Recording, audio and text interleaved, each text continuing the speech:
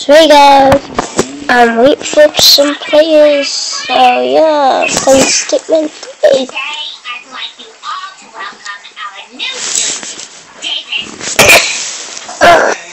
David, would you like to come up and tell the class a Wait for a player. No, he wouldn't. I wasn't speaking to you, Alvin. Uh, no, thank you, I'm gonna play. Let me kill somebody. Let me kill somebody.